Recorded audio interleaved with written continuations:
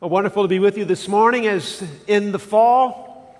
Uh, we are exploring together as a people what does it mean to cast our light, to be sent out on mission by the Lord Jesus in order to put on display who Jesus is and his redemptive message of salvation, which is a call for all to turn and repent and cling to Jesus for life. Jesus says, I am the light of the world. And then also on the Sermon on the Mount, Jesus says, You are the light of the world. And he says, Therefore, shine your light, that people may see your good deeds and their eyes will be lifted up, that they would give glory to your Father who is in heaven. And as we've been doing that, we've been exploring this theme in what is called the mission discourse in Matthew chapter 10. And today we're actually going to be looking at what is the introduction to the mission discourse, which is found at the very end of Matthew chapter 9. And part of the reason we're doing a little bit out of order is to a certain extent, our sermon series here in the fall is following, following along with a small group series that uh, was produced by the discipleship ministry and is being used in small groups and as well as in family ministries, student ministries as well. And as we follow along, that means we might be a little bit of out of order, and, uh, but hopefully we'll be blessed this morning. In fact, what we'll be doing in a way is exploring what does it mean, as we just heard our wonderful choir sing, the words that we hear in Isaiah chapter 6 Who will go? Who will go for us? And the prophet Isaiah saying, Here am I, send me. What does that mean for us? If that, how can that be the cry of our heart this morning? And so our reading is Matthew chapter 9, starting in verse 35. So I invite you to stand. As we read this together, we stand in honor of the Word of God and we stand in honor of its reading, starting in verse 35. And Jesus went throughout all the cities and villages, teaching in their synagogues, and proclaiming the gospel of the kingdom and healing every disease and every affliction. When he saw the crowds, he had compassion for them because they were harassed and helpless, like sheep without a shepherd. And then he said to his disciples, The harvest is plentiful, but the laborers are few. Therefore, pray earnestly to the Lord of the harvest to send out laborers into his harvest. Though the grass withers and the flower fades, the word of our Lord remains forever. Please be seated. Let's pray together. Gracious Heavenly Father, we thank you for your word. We thank you for the scriptures. We thank you that you have revealed yourself, your heart, in and through your word to us, your people. We pray this morning that, Holy Spirit, you'd be present in this place that you would open up our eyes, our ears, and our hearts, because apart from you, we're blind, we're deaf, we don't understand. But in and because of you, we see, we hear, we do understand. And then we turn and we're healed. We pray you do that work in us through the Holy Spirit this morning. We pray it in Jesus' name. Amen. Well, this morning's message is entitled Love the Lost. And what we see in the end of Matthew chapter 9 is a revelation of the heart of Jesus as he is then sending out the disciples on mission, which is furthered and expanded in the encouragement and instruction that we find in Matthew chapter 10. And as we get a picture into the heart of Jesus, sending out his apostles on mission, so he sends us, we see that the heart of God undergirded in mission is built upon a foundation and is built upon the foundational practice of prayer. That prayer is foundational in our sending as workers in the Lord's harvest field. And as we are sent out upon a foundation of prayer, we also see the heart of Jesus as he says that when he looks at the crowds, he looks at them with compassion. And so we'll see this. We are built upon a foundational practice of prayer, but we are sent out with a heart of compassion, and we are sent out. And if we are sent out, then that means by implication, Jesus is sending us to be present in the world. So we have a foundational practice of prayer, which then moves within us a heart of compassion as we are sent out to be present in the world for Jesus. So, you see, as Jesus is talking to his disciples, he tells them that they are to be people of prayer. When he looks at the people and he sees that they are helpless, he tells his disciples to pray earnestly. Pray earnestly that the Lord of the harvest would send out laborers into the harvest. And as Jesus is saying this and calling on the disciples to pray in this way, right in the beginning of the next verse in chapter 10, he sends them out. And so, just as Jesus sends out the apostles on mission, guess who he's sending out on mission today? You and me. And so, as He's sending us out on mission, what does it mean to say that that mission is undergirded and built upon a foundation of prayer? One thing that prayer is, and prayer is many things, is an expression of our dependence upon God. We pray because we are dependent upon the Lord. In all things, did not the Lord Jesus instruct his disciples in what we call the Lord's Prayer? He says, Give us this day our daily bread. Part of what Jesus is meaning is that all of our life, all that our sustenance, all what it means to live before God is dependent upon Him. Give us this day our daily bread. Give me what I need because I am at every moment dependent upon you and every good and perfect gift comes from you. And this is especially true when it comes to mission. The effectiveness and the outcome of the sending of Jesus on mission is not first and foremost dependent upon you and me, it's dependent upon God. Let's remind ourselves of something we said last week in Acts chapter 16. The Apostle Paul is proclaiming the gospel, and it says he's proclaiming the gospel to a crowd that had gathered, and in the midst of that crowd, there was a woman whose name was Lydia. And it says in the text that Lydia's heart was opened. And it was opened by who? Paul? By Lydia? It was opened by who? God that the Lord opened Lydia's heart, and that as a result of the work of the Holy Spirit upon the person of Lydia, Lydia then, it says, pays attention to the words that are spoken by Paul. And implicitly, she's paying attention and she is receiving the message of which Paul is proclaiming to all that had gathered there. But the effectiveness of the proclamation of the Apostle Paul was not because the Apostle Paul had a quick turn of phrase, it's because the Lord opened the heart of Lydia to receive. So, in that way, as we are sent on mission to proclaim and demonstrate the kingdom of God, we do so as well, wholly and completely dependent upon the work of the Holy Spirit to work within and through us as agents into the hearts of those that we love and care for and who we are proclaiming and demonstrating the kingdom. But let's remind ourselves prayer is first and foremost about dependence. One pastor, H.B. Charles, puts it well. He says this Prayer is arguably the most objective measurement of our dependence upon God.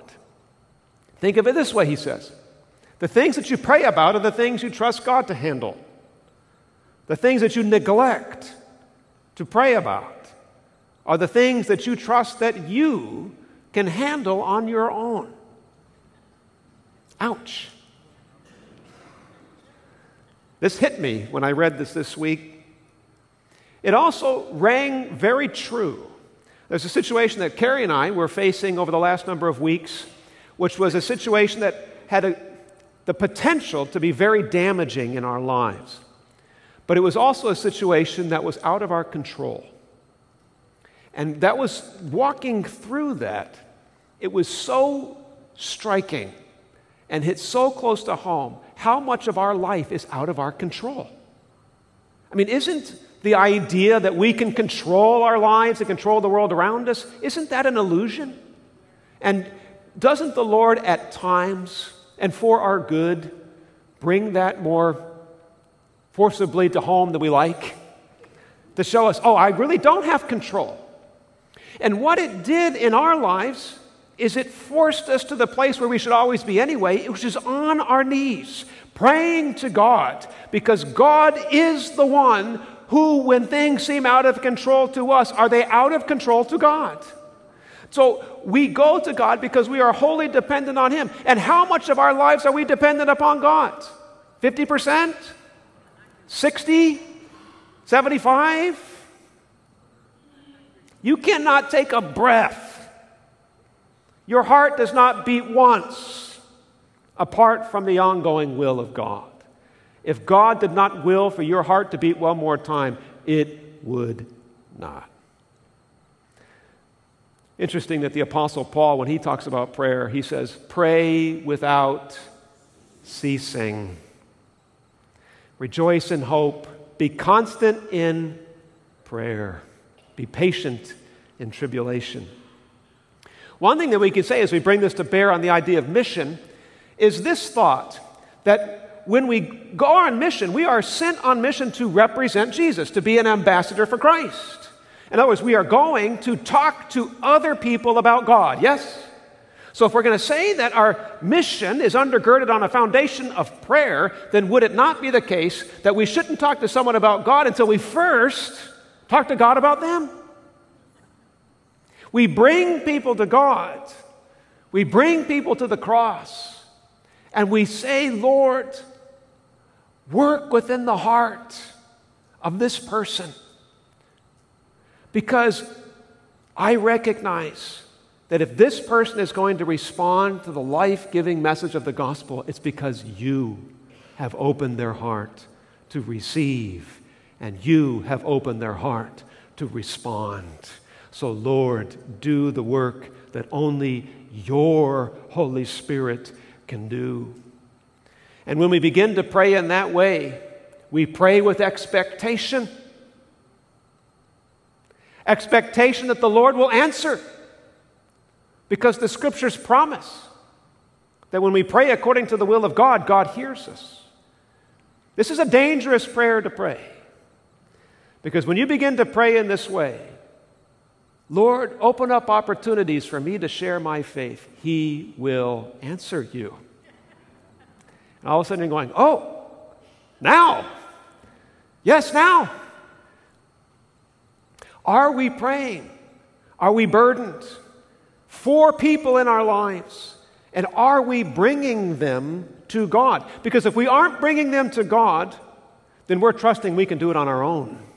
We aren't living in dependence upon Him. We're living in dependence upon ourselves. And the scriptures say, salvation is of the Lord.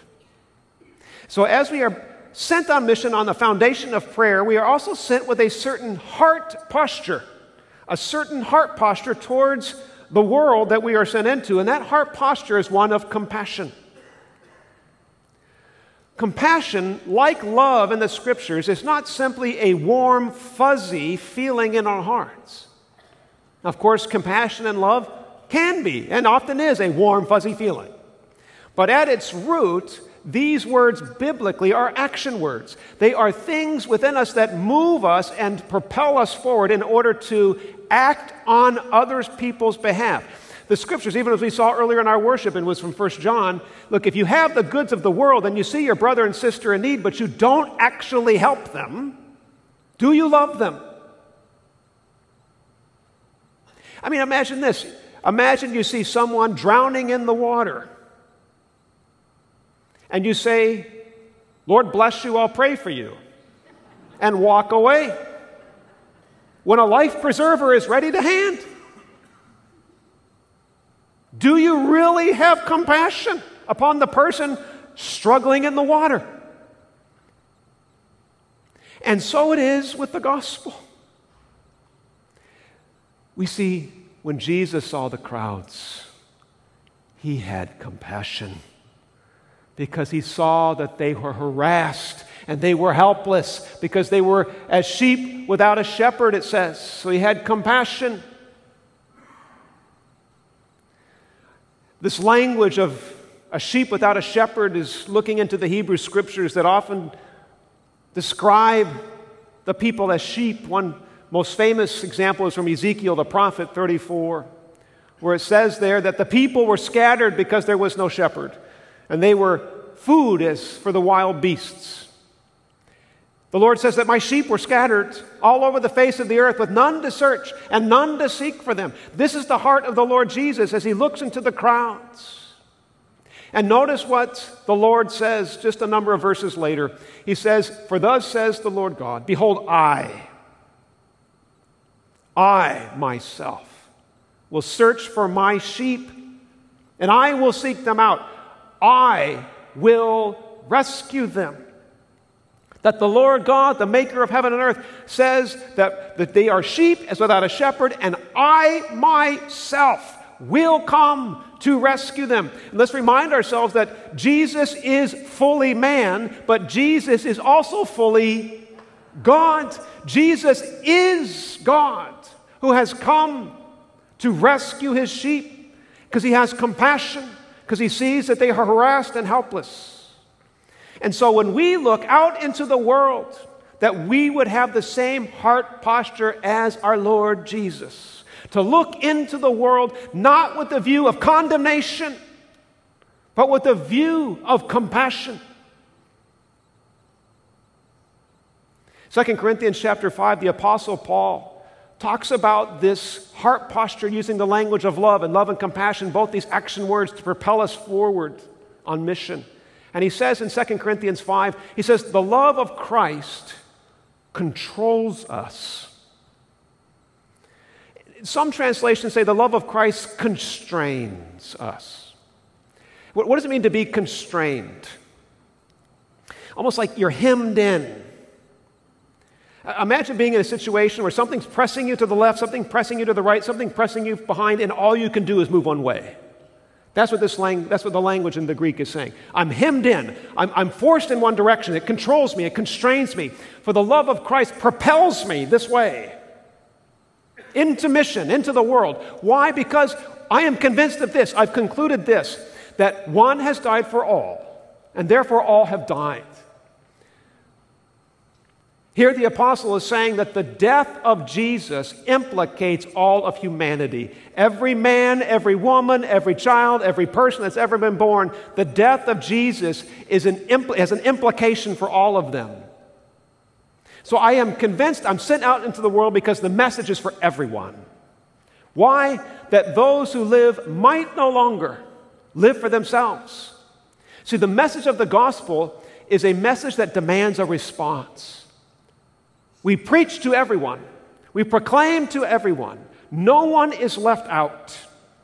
And those who the Lord opens the heart respond that they may no longer live for themselves, but for the sake of Him who died and was raised for them. And yet, if we're honest, if I'm honest with you, sometimes our heart for the world is not one of compassion. Is that fair? And this is where we need to have a foundational practice of prayer. Because through Scripture, we see different people who also do not have a heart of compassion like God. There's a prophet in the Old Testament who famously does not have a heart of compassion like the Lord. What's his name? Starts with a J. Jonah. Good old Jonah. Jonah did not share the heart of God for the world. If Jonah was sent to be a prophet to his own people, I imagine Jonah be like, Oh, sign me up. In fact, we have record in the Hebrew scriptures that Jonah was a prophet to his own people and probably was effectively so. But when Jonah is sent to people not like him, to people who had persecuted him, the Assyrians, the people who were brutal, the people who, quote, don't deserve it, Jonah said, No way, Jose. I will go as far away from you as I possibly can because I'm not going to those people. At the end of Jonah in chapter 4, after Jonah has preached the worst sermon in history, and the people respond. Now, why do the people respond to the worst sermon in history? Who opens the heart? God. Your call is to be faithful. God is responsible for the results. Jonah is up on a hill, and God provides for him a plant. And this plant comforts Jonah because the sun is beating down upon him, and the plant provides him with shade. It's nice. And then God takes away the plant. And what's Jonah's response? I'm angry enough to die. And then God says this to his prophet You're all upset about the plant. I'm upset about the people. He says, Jonah, you pity the plant. I pity the people. You see, Jonah's loves are disordered. Jonah's priorities do not match the priorities of God. He's more concerned with the plant than he is with the people. Can that be true of you and me? Can we say, Lord, yes, your message is for everyone, just not them. Don't use me to send to them. And who could that be? We could take turns coming up and you could share who's the them for you. That'd be fun. Who is the them? Well, you know, everyone deserves the grace of God, but please don't send me to LGBTQ people. I want nothing to do with them. They're gross. I don't like it. Let me ask you a question Does God love them? Are they broken? Is there pain there? Do they need the love of Christ? Do they need the gospel? The only way they're going to hear the gospel is someone tells them. The only way they're going to see the love of Christ on display is if the love of Christ is put on display for them. Maybe it's someone who's different from you politically or has a different view on some issue than you. Maybe it's a different faith. Maybe it's a different people, it's a different culture. You know, one thing that's interesting, we're just talking out loud. Right now, there are more people displaced in history now more than ever. You know, that's an opportunity. Why would that be an opportunity? I mean, think that just let's take one people group. Let's just take the Muslim people group. One of the most difficult things about sharing the gospel with Muslims is the power of the Muslim community. If you are going to become a Christian, I'm sorry, if you're going to be a Christian and become a Muslim, do Muslims care about that? And let's say someone here is to become a Muslim, you know, would we probably say, man, that's what's wrong, you know, but we probably wouldn't try to kill them. But for Muslims that seek to become Christians, do we know how much that costs them? Do we even get close to understanding the cost of that? So, here in our world today, there are many, many Muslims who are being displaced all over the world. Many of them right in our backyard. We have lots and lots of the Muslim community here in our backyard.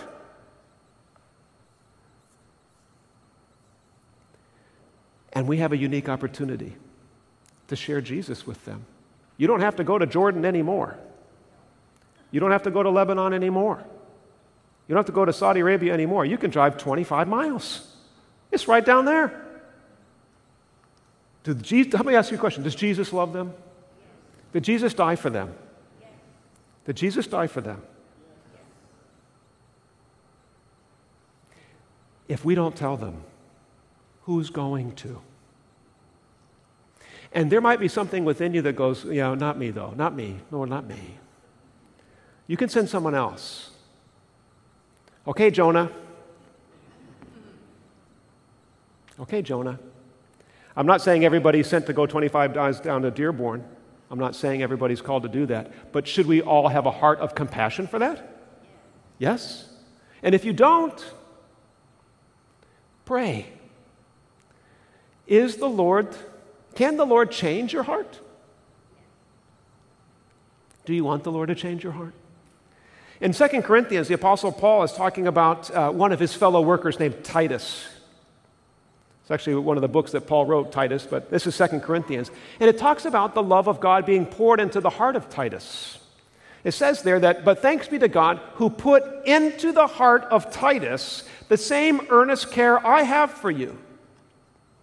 You know, one person I know, if, if you know um, uh, Mark and uh, Mary Jane, Mark and Mary Jane Vanderput. Do you know Mark and Mary Jane Vanderput? Some of you may know them.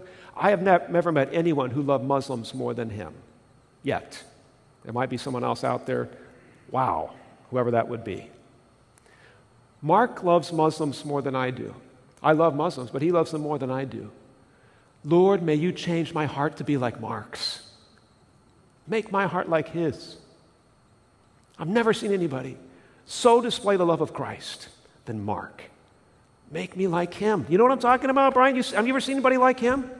It's unbelievable what he does. I'm over there. We're in Lebanon together. I'm looking at this beautiful sunset. You know what Mark's doing? He's talking to people about Jesus walking along the road. I couldn't believe it. I said, Mark, look at the sunset. He's like, I got something else a little bit more important. You pity the plant, I pity the people. So we are sent out into the world. So we uh, undergirded the practice of prayer to have compassion, because Jesus had compassion, to be present. Jesus specifically says in Matthew chapter 9 pray that people would be sent out into the harvest field. And the Lord, this morning, for all of us, is saying, I'm sending you out into the harvest. You know, sometimes as believers, we can kind of get into this place where we might call it like uh, anyone ever live in a cul-de-sac? You know, it's like a Christian cul-de-sac. You just hang out with people in your cul-de-sac. You know, it's like everything just happens right there. And by the way, what I don't want to do in any way is not Christian fellowship. Christian fellowship is huge. Jesus says that I've redeemed you to myself, and you're now a part of a family. And we gather together as believers. We have community on Wednesday nights. We do small groups. We have classes. These are all wonderful things. We need Christian community. It's part of our mission. We bear one another's burdens. We weep with those who weep, rejoice with those who rejoice. Yes. But if all we do is spend time in our holy huddles and we never leave to go out, if we never go into the harvest, then are we really being obedient? And where is God calling us to be present in the world? And by, but, as I say that, you know, it's funny, in the last service, everyone left. I think everyone's kind of like, wouldn't look me in the eyes, you know, like, yeah, yeah, yeah.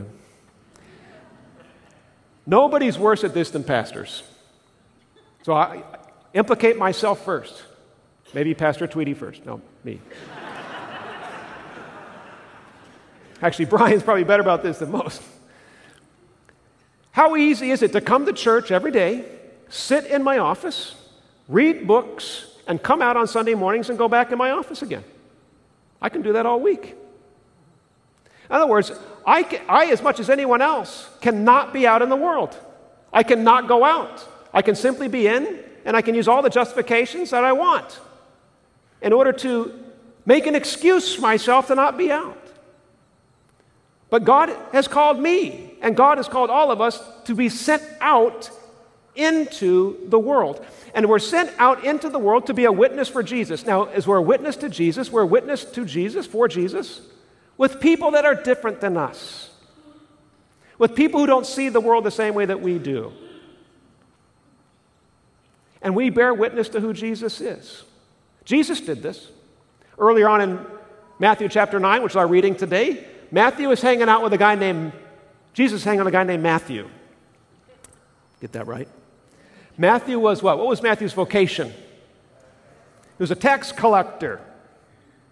Were tax collectors well thought of? No. Why?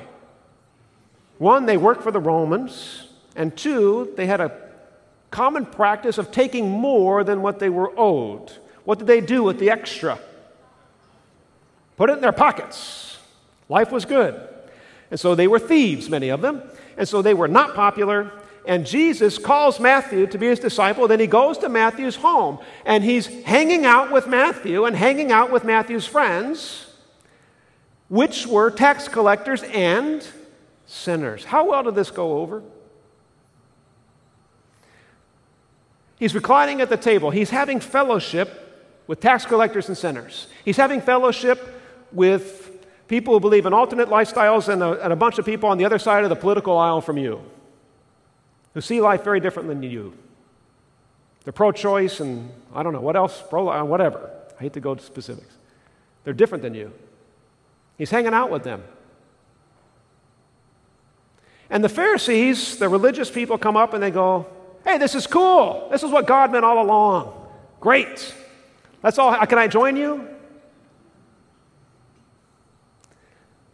He says, What's wrong with you? You're hanging out with all the wrong people. You're hanging out with the convicts. You're hanging out with the people who have rap sheets. Hanging out people don't dress the right way. And Jesus responds to them how? Hey, you're right, I'm sorry. I'll get back in line. I'll get back in my holy huddle and I'll move back into the cul de sac. Forgive me. He says, No. Look, those who are well have no need of a physician, but those who are sick. We are sent into the world because people are broken and they're hurting and they need the message of the gospel. And if we don't go, no one's going to hear. Go and learn what this means, he says, and he quotes Hosea 6. Go and learn what this means. I desire mercy, I desire compassion. The Lord is merciful, He's compassionate, slow to anger and abounding in steadfast love. Go and learn this means. That's my true character. That's the character of the Lord. I desire mercy, not sacrifice, for I came to call not the righteous, but sinners. What is the priority to God? That you tithe a tenth of your herbs? Remember, Jesus says this to the religious leaders. You tithe a tenth of your dill and your mint and your cumin. And yet you neglect what? the weightier matters of the law. You have disordered loves because you have placed plants over people. And my heart is for people. So as we close, let's just remind ourselves if they aren't going to hear from us, who are they going to hear it from? How then can they call on him who they've never believed? And how can they believe in whom they've never heard. And how can they hear without a herald? Now, in the original, this is taken from the ESV, in the original it says, How can they hear without a preacher? And I changed that, which is okay, it's all right, don't worry. The word probably means closer to herald than preacher anyway. But it says, And how will they hear without a preacher? When I read that, you read that in Romans 10, you're like, Oh, good, we got one. He's up there in front. How can they hear without a preacher? Well, good, we pay him, so he does it. Isn't that sometimes the mistake that we make? Lord, it's okay. I don't have to do it. They'll do it. It doesn't have to be a preacher. It could be them. It's those guys. It's someone else. Remember what Isaiah says from the Lord Who will go for us? And Isaiah says, Here am I. And we said right at the opening of this message, how can we live further into the heart of Isaiah? Here I am, Lord, send me. So as we close, I want you, well, let's together think about who God has placed in your life that would be a burden to share Jesus with them. And I want you to spend just a moment and allow the Holy Spirit to speak to you. And to ask the Holy Spirit, Lord, Who have you placed in my heart, in my life? That would be a burden to share Jesus with them. And then, even right now, you got, you got someone coming to mind? Maybe two? If not, get out, you know. It's all right. And then, as we said, we don't want to go to them to talk about God before we've done what? We want to talk to God about them first. So we're going to spend just a moment doing that now.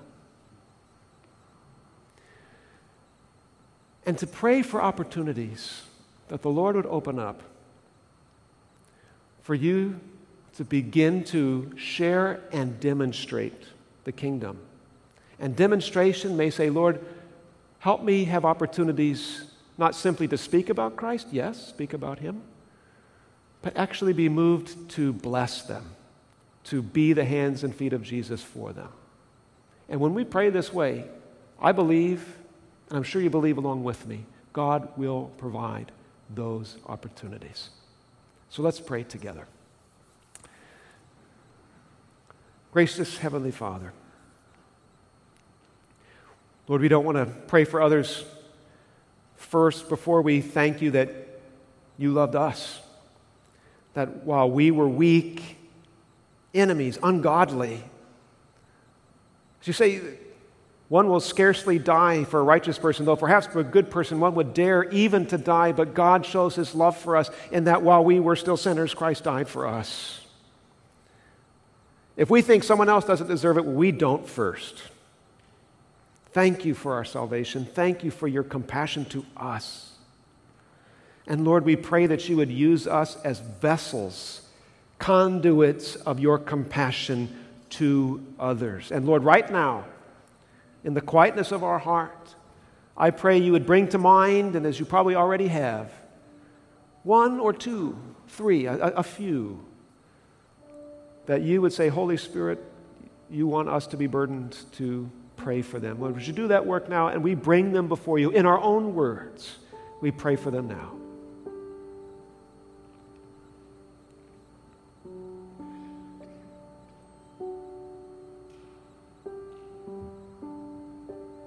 Thank you, Jesus.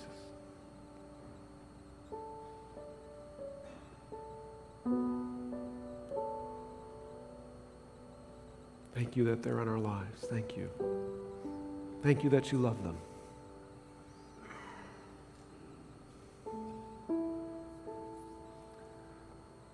Lord, help me to love them the way you do.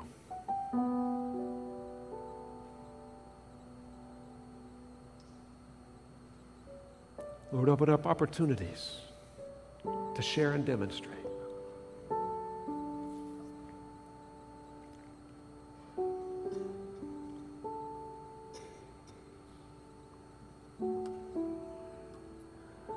Lord, we thank you that salvation is from the Lord and that we are simply faithful participants. It's your mission field. We are simply laborers who are sent out to work in it. And so we pray, Lord, that you would open up hearts.